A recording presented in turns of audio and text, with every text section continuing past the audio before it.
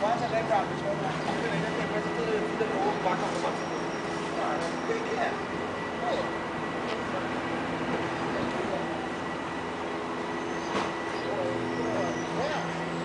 Thank you.